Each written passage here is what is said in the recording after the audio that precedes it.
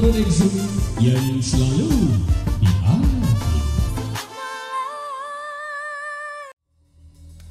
Buruk Visarumban menggambarkan antropologi kesenian buruk di Cirebon.